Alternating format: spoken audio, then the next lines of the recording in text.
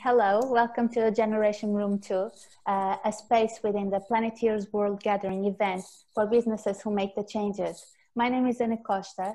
I am partner at Fashion Catalyst, a platform that aims to connect all the stakeholders of the fashion industry and collaborate towards the um, future, responsible future of the sector. I invite you all to visit our website at fashioncatalyst.org.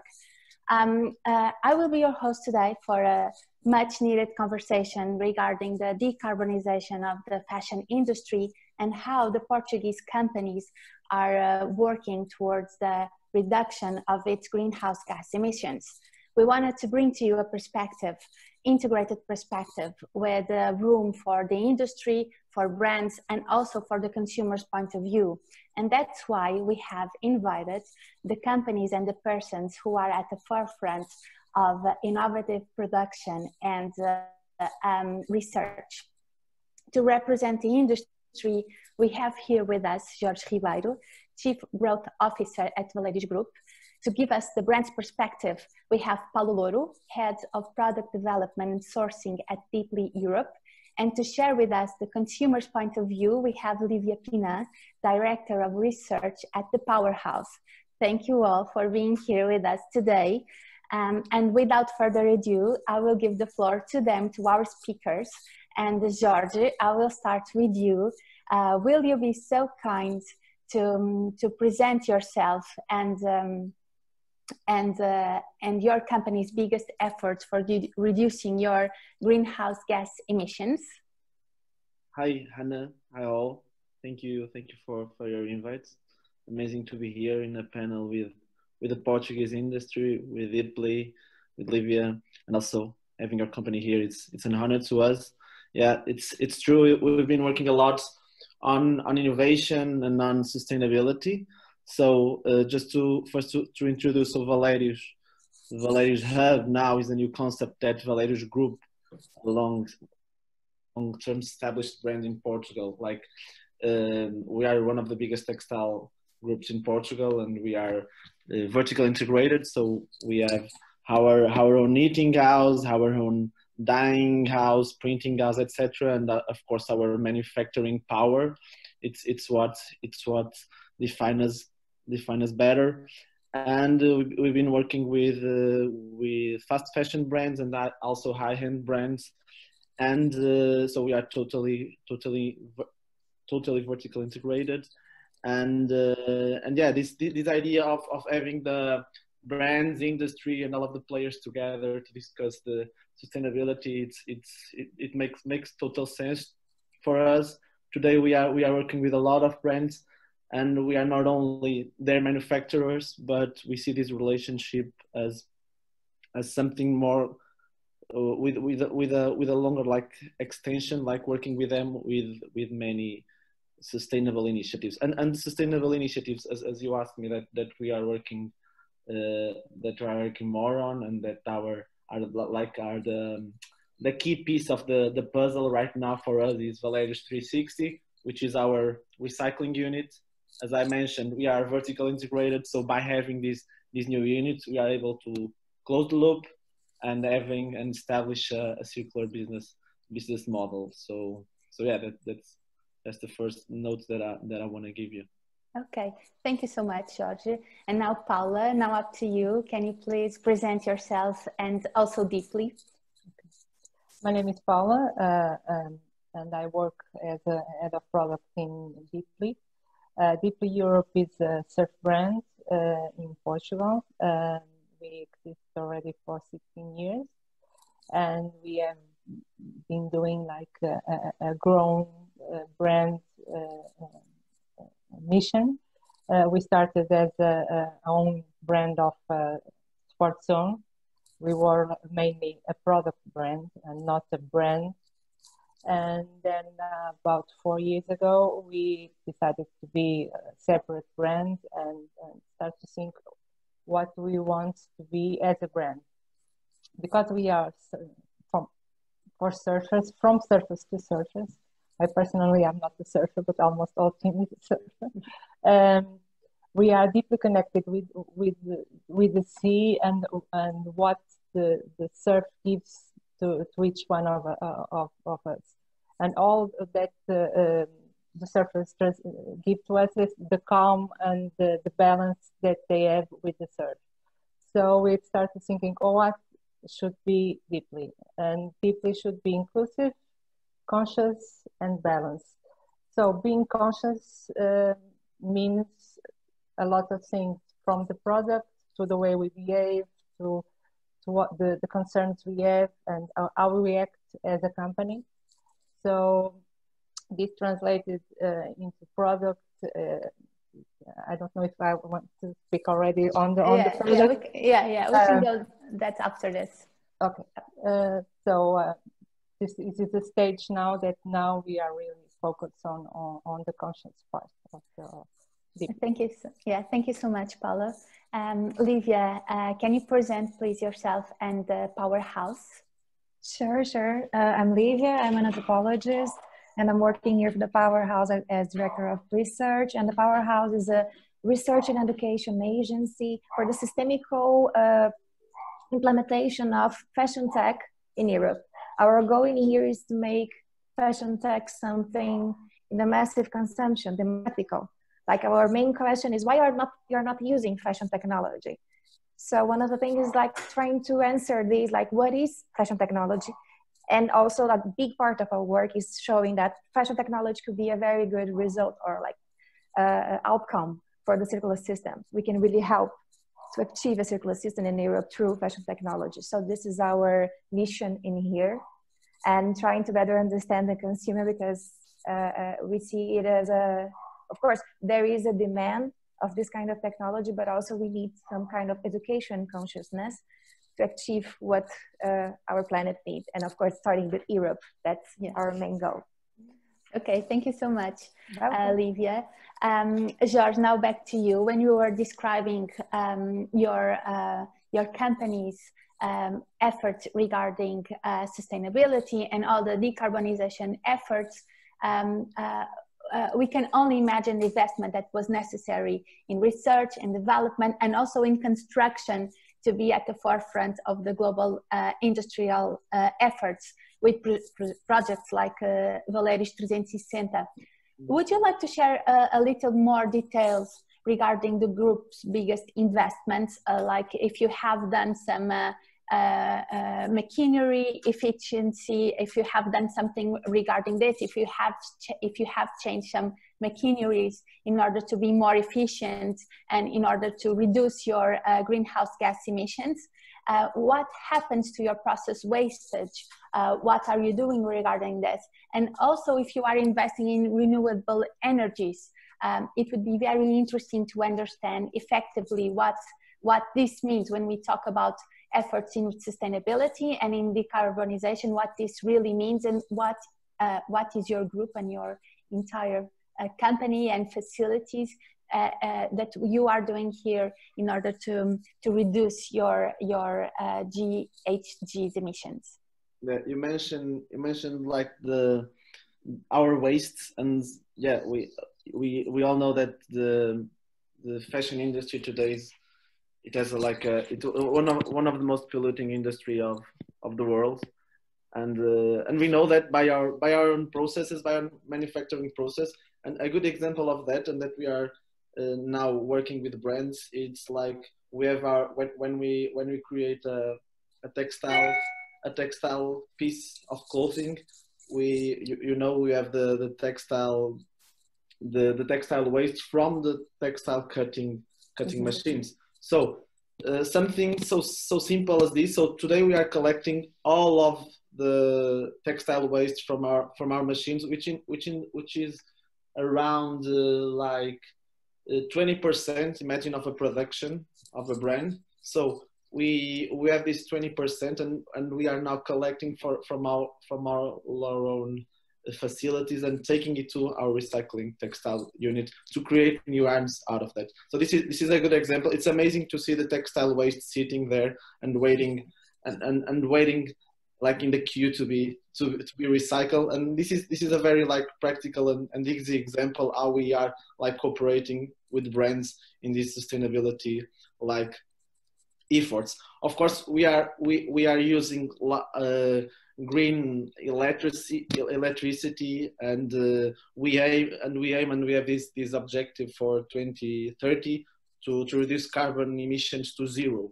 Okay? How we how we gonna do it? We already we already we are already doing it by by this kind of measures by having this this this new this new setup of course by i said already renewable energy uh, by investing in new machinery you mentioned that yes we invested heavy on on this on this new unit The Valérius 360 is an investment of 25 million euros i invite you i invite you all to to visit it's 20 minutes from the from the airport from the Porto airport and it's I like to call it NASA of the textile industry. so you are you are all very welcome to, to Thank come you. and it's and it's it, it's really revolutionary. And all of the so far we have been working with with some like selected clients on that. And the and the impression of, of them after after visiting is let's let's start immediately cooperating on this and and, and putting a Yeah, project yeah. in place. Because you don't need you know and, and we i'm talking here about like also not only not only big textile groups but also um, but also some startups and and we can work with with both we have that ability and uh, and yeah and when I, when I was first mentioned these kind of initiatives and how we should work as partners with with uh, with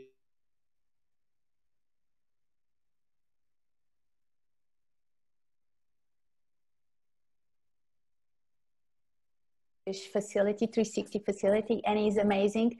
Um, and what has inspired you on this path, on the sustainability path? Was was it within uh, within the group itself, or did you felt that uh, the client was pushing you to it?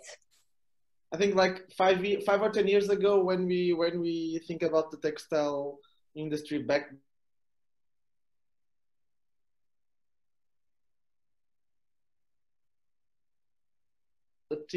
but now we more than a need we, feel that that this is a business and a, a big business of opportunity. The idea of promoting like a, a circular business model it's it, it's real and we can do it. And it, it was like to that expression of to, to walk the talk and not not only not only say that we're gonna reduce and gonna blah blah blah but then we're gonna act. And this is the vision also of our of our chairman that, that this crazy idea of putting this this in progress.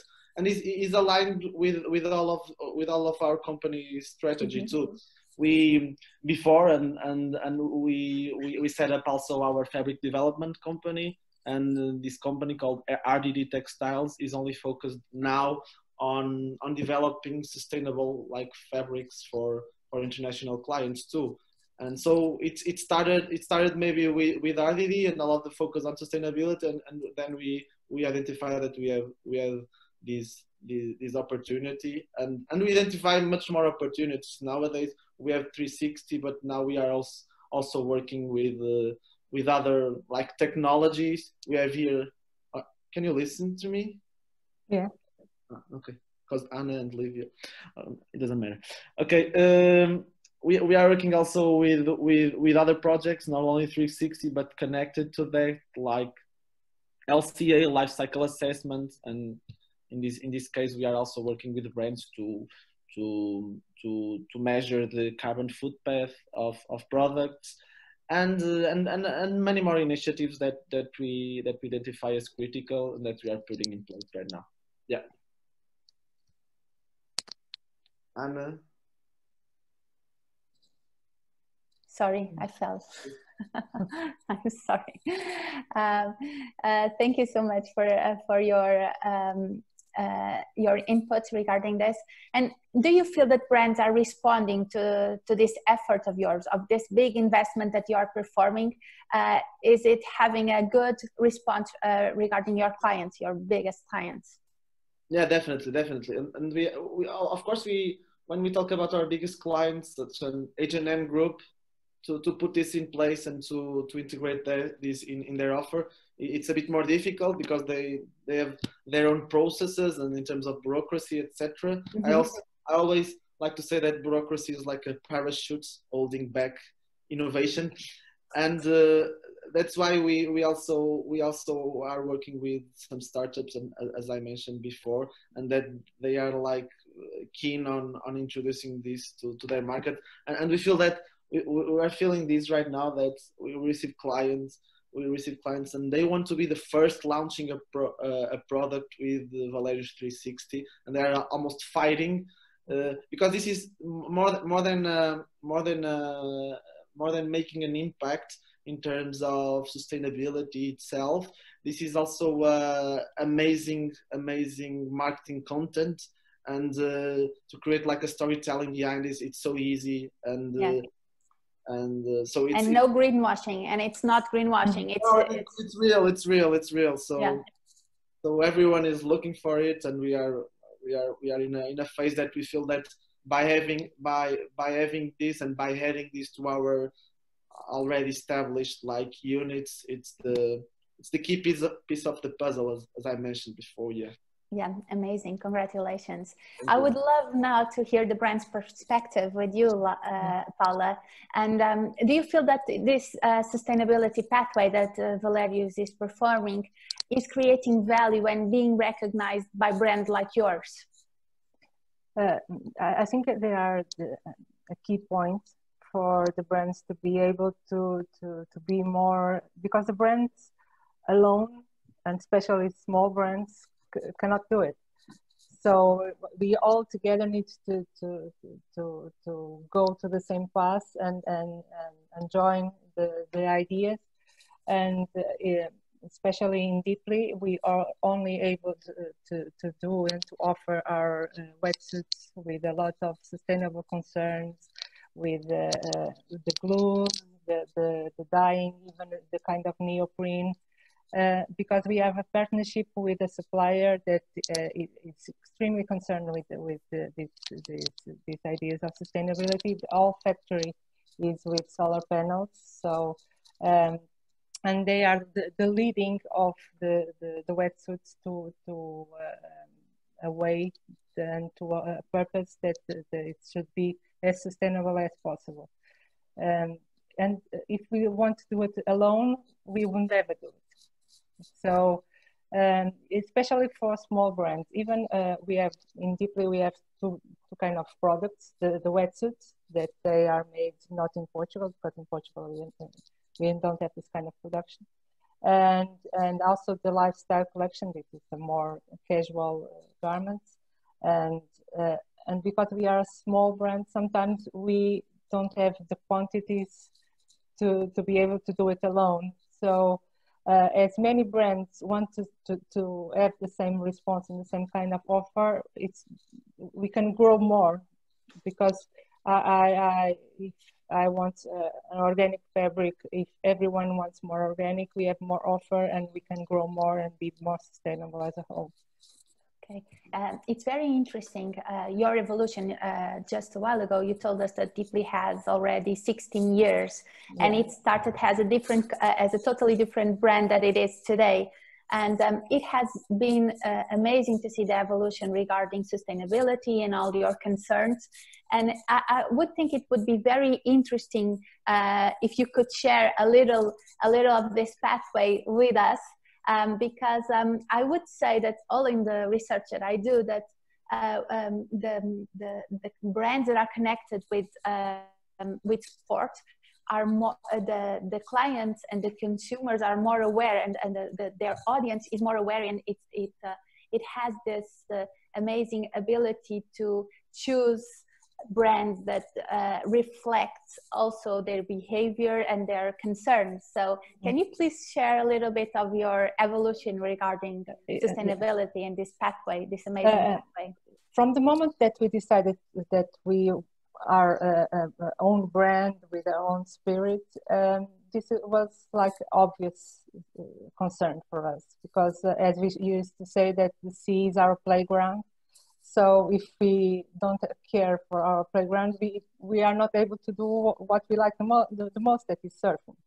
Um, so uh, uh, when we, we when we started to have this concern, we we mainly were focused on product, and now we are growing from about one year, two years uh, ago from all the, the, the points that are um, further the, the product itself.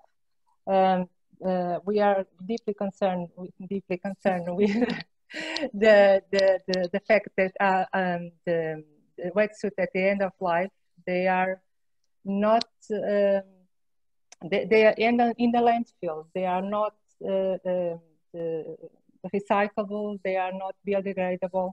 Uh, and that for us was, was a concern. We are also we are have a lot of partnership, more than 100 with surf schools, that they also asked us if we could help them to to have a, a, um, a final uh, solution for the, all the wetsuits that they, they they they have there and they don't know what to do with what to do with them.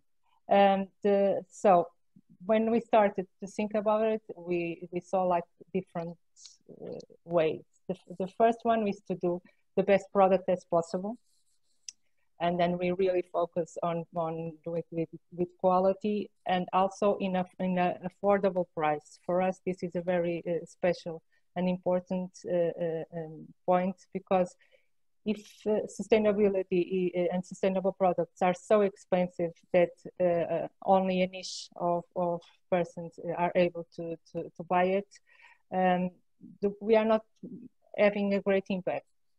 Uh, so that's what we try to do a, a, a good product that uh, lasts long and um, we also um, have these programs that for next week we are launching for Portugal and, and Spain that we help repair the, the wetsuits for all brands, not only Deeply.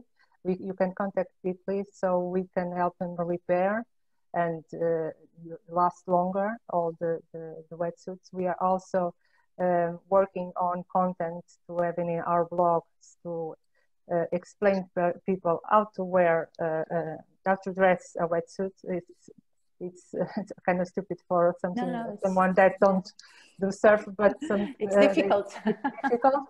and sometimes there's problems and tear-ups with the, with the wetsuits.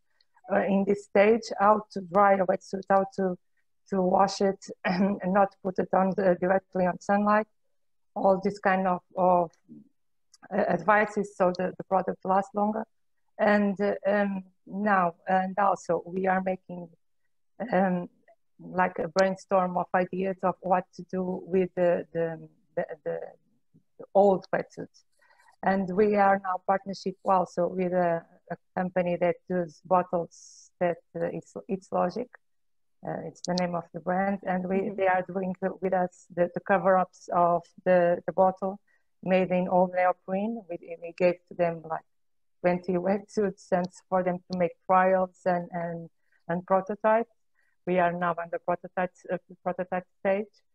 And then we, we start uh, thinking, uh, okay, but this is just um, small pieces of the wetsuit. Uh, the, why don't we think a bit bigger?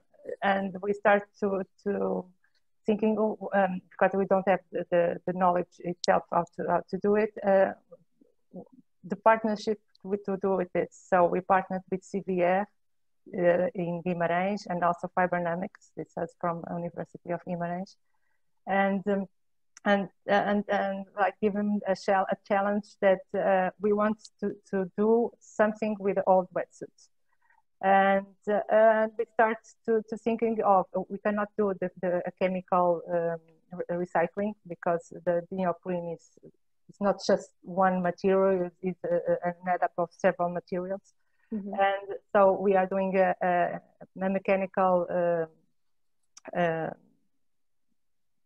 threading of the wetsuits and then adding a compost and creating a new material with that and then we are develop, we are going to develop like new products from old uh, wetsuits, and uh, hopefully in one year we are able to like have a new product of, of, of an old waste because waste is not waste, but it's something that yeah. you can create with. Yeah, it's a new resource. Yes. Um, amazing, amazing. Congratulations on this um, on this innovation. And do you feel that your audience is as, is answering also to this effort of yours? Um, in the wetsuits, uh, yes, because the, the price difference uh, with other um, competitors is big and and um, and we are growing on on this. And but on the lifestyle, the casual uh, garments, the, the it's very difficult to sell in Portugal and in Spain. Portugal, uh, uh, Deeply already sells more than 60% outside of Portugal, but Portugal and Spain are still a, a, a market that is really important for us. And the, the, the consumer is not uh, yet uh, educated or...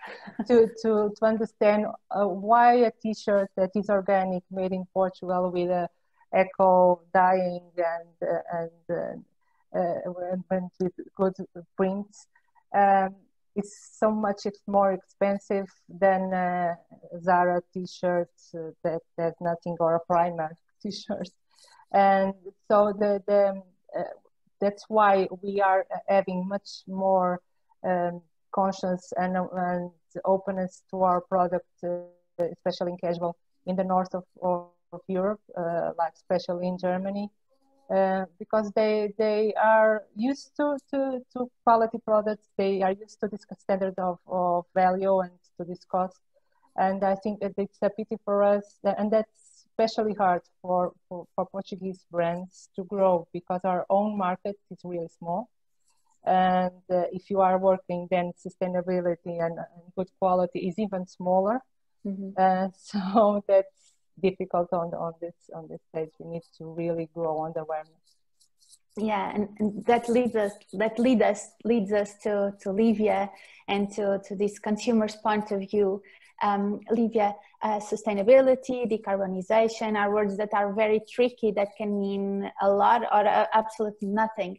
Um, brands don't always have a, a, transparent approach on these topics and uh, we, we hear a lot and we read a lot about greenwashing however um, people are more and more demanding um, and, and uh, especially the new generations.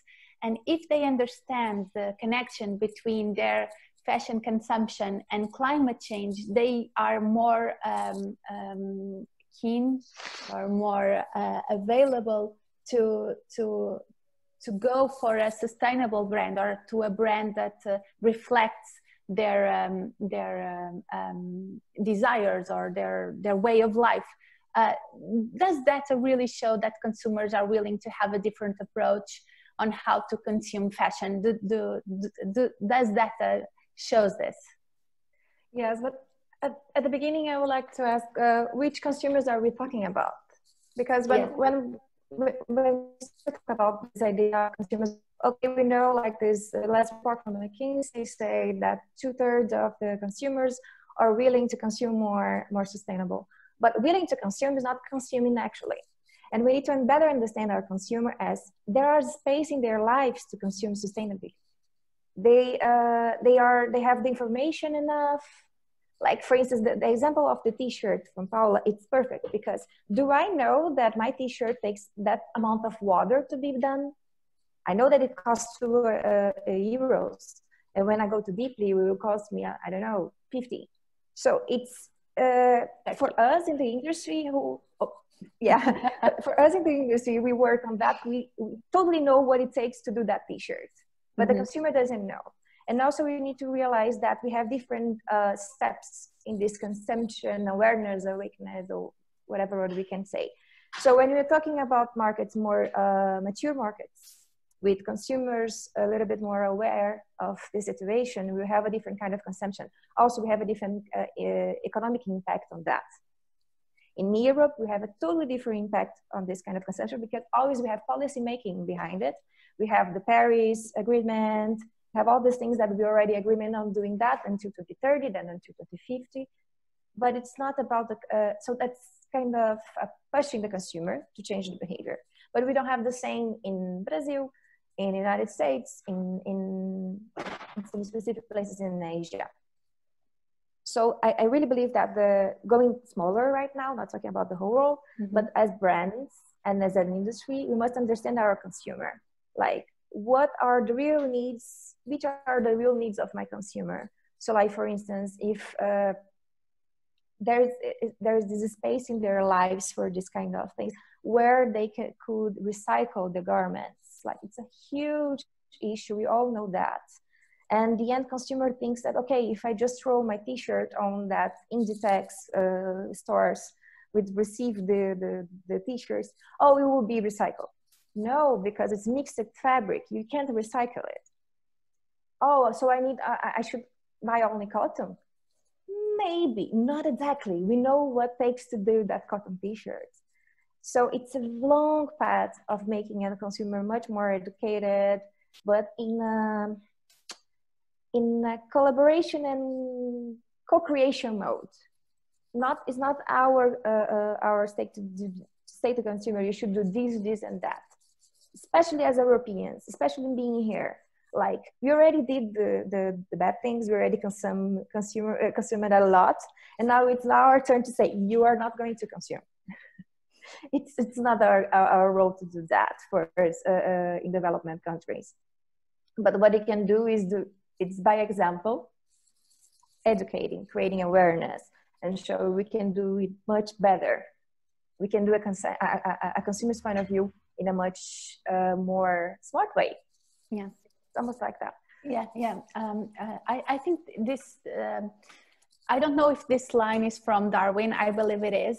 Uh, nature doesn't. Um, there's not nothing like uh, gems in nature it's evolution it's and we cannot talk about gems in evolution so what when we look at consumers we we have uh, different stages and different uh, stages of evolution in a in a line if we could say it a line of or a trend of consumers so what is important that, that we uh, the the uh, uh, emergency climate it, it, it, it's so urgent that we need to tackle all of these consumers uh, uh, no matter in what stage they are so mm-hmm. mm-hmm. um, do you feel or what is necessary or is lacking regarding this education how how can we um, uh, make this message more sympathetic how do we make this uh, how do we make this message viral? Uh, in, in, in having this in mind with such different consumers how can we uh, target them and how can which is the best way? I don't know if data says that. To, to address these different consumers in order to have a different response and, and more awareness and, and and we, when we talk about consumption, we also, when our conscious, conscious consumption, we all need to, to understand that maybe in some points we need to um, uh, don't uh, consume as much as we should or as, as we want to. And so um, we need to rethink as, as well. How, how do, do we uh, tell this to other people in such different stages and how to to make this message more sympathetic more i wouldn't say sexual but sensual oh. uh, fun. How how can we do this livia? Approachable sure. Yeah. like uh, i would like i really like this idea of having as like um, for me it's not a run to evolution but also but a, a, a circular system uh, to development so we are developing in different stages, of course, because economically and socially speaking, we are in different stages. So again, we, we, we can't take the same measures in Europe that in, in, in, in Brazil. So it's very important to be aware of it. And also the only way uh, to really to really approach those people, like different all those different consumers, it's listening to them, talking with them, and doing this in, in a small scale. And we can do it this as a brand and as, also as an industry listen to them. Take uh, uh, uh pay attention to their routines to under, really understand how to make this more sustainable. Like for instance saying that uh, uh, ah, of course we should uh, buy more sustainable clothing and using sustainable fabric but maybe it's too expensive for some groups. Yeah.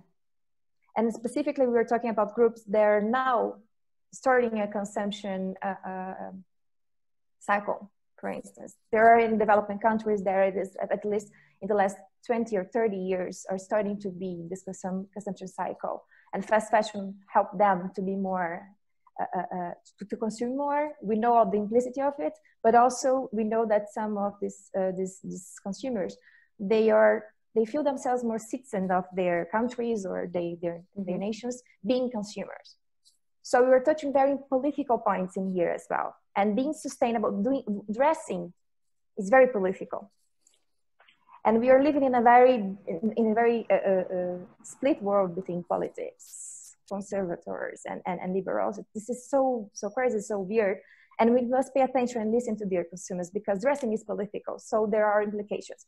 We're going to see after after all the situation went through, and still now we're already seeing uh, some very big difference between the, the world regions. We're going to see a different Europe, we're going to see a different Asia, we're going to see a different America. And of course, this will impact directly how the, the way we consume and it will become, it will become even more political.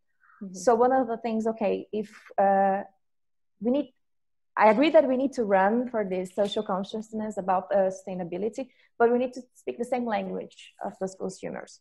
So I would suggest uh, in, in, in, collaboration with brands and, and, and consumers for the brands to really listen to the what they are consuming and how they are, especially how they are consuming, not just until the end of the sales, but all the using process until okay, how do I uh, uh, uh how do I, I it become waste. I really don't like this word. Uh, but how until the, end of the consumption and helping the consumer and all the cycle. Like Deeply is doing that, helping to recycle the recycle the, the wetsuits. And we can do this in very different levels, but we even need to pay attention to our consumer. Yeah, amazing. And we are running out of time, but uh, um, when we talk about sustainability, decarbonization, we uh, when we talk about uh, um, uh, uh, objectives for, for the next era, one of the main things is collaboration. So in two words, I don't know if this is possible or not, I would like you all, Livia, Jorge, and Paula, to just share an idea of how a collaboration between the industry, the brands, and also the consumers, the audience, how this is feasible, what this, that, what, what would be um, a concretization of, of something like this. Sure. I can start for for yeah. us. I, I like that idea of turning supplier relationships into like strategic strategic partnerships. So we, we want to be perceived like that. So brands, if Deeply wants to start to work with us, it, it cannot see us as a, only as a manufacturer, but it has to see us as a partner, as someone that will work work on different and, and if we are talking about sustainability on different sustainable initiatives we'll give you like an added value in that service and consumers will will will will will feel that and we're, we are we, we know that. We, we feel nowadays it's, it's an interesting idea because we, we feel that uh, more and more brands want to show our facilities and our processes in their own websites want to want to tell that story to the, to their consumers okay? And and touching in the in what what what Livia was was mentioning, and uh, and relation and relating it with with COVID, in COVID and uh, during this this this pandemic times, we, we felt that uh, brands that promote sustainability increase their like their orders to, our, to, to us and, and their and their sales numbers. So uh, if they increase it, that they do it with us. So uh, we are we are the we are the perfect ingredient for that. Paula, be aware. And Paula, I have to say that uh, Jorge is a surfer, so oh. he, wants, he has I, the experience. And I use deeply, and I use deeply from like five years on. Only only buying deeply uh, um, uh, wetsuits, wetsuits. Mm-hmm. So nice. in terms of price, I have to say that you, you don't have you don't have a competitor in terms of pricing and and, and price and quality and uh, and I, I, will I'll be very happy to to think with you how to recycle them too. So cool. Okay, cool. So That's really interesting. yeah, th- this kind of of, of collaborations is, is, are essential. We cannot do it alone at all, at all. Uh, especially because almost all brands don't have the, the technical knowledge. We don't. We we we are left like a lot of of uh, commercial brand marketing, and but the technical, uh, I believe that Jorge that that uh, handles with a lot of brands. Mostly all buyers don't have the technical uh, knowledge to, to, to do it. And uh, that's why that's the only way to grow is being really close to, to the industry. And in Portugal, that, that part is easy for, for us because we have a really good uh, industry. So uh, we also uh, can create on, on, on, on this with together. Uh, a concern that I have that I think it's going to be like the future is the on-demand orders. Mm-hmm. That is like really creating a product that cannot even be a sample, but there's like a lot of programs now that can show uh, an image of the product real, real, real and and the client c- can give us the idea if it's the its interest or not and then we produce it afterwards. And being so close with the industry we we because there's a lot of waste on on the on the market. Because we have to produce the, the like a minimum so we don't guess what is going to be sold. At the end of, of, of the production there's a lot of waste on, on, yeah, on. yeah there, is a, there are a lot of challenges when we talk about sustainability and decarbonization, and that's for sure one of them. Uh, the stocks, the minimum, um, the, the minimum qu- quantities, but we need also to look at the industry side. They need to have yeah. also this, um, uh, this uh, uh I would say, quantities in order for them to be uh, economically sustainable to, to produce. So um, there's a lot of uh, opportunities. Um, I, I, believe that the, the fashion uh, uh, industry in Portugal or the fashion ecosystem uh, in Portugal um, is performing in terms of decarbonization and sustainability like very few countries in the world are performing so um, I, I, would love to um, continue this conversation however our time is up I would love, love, love to thank you all. It has been amazing. It was an amazing talk. Thank you for your time. Thank you for being here with us and sharing all your knowledge, all your pathway, and um, all your inputs have been amazing. And uh, thank you also to the persons that are listening. Um, uh, I hope that uh, if you want to, you are free to to send us some questions, and uh, our speakers will be delighted, I would say, to answer to all of them. Feel free to, to reach out to us also. And um, thank you, Planetiers, for, uh, for this opportunity. And um, see you in a while.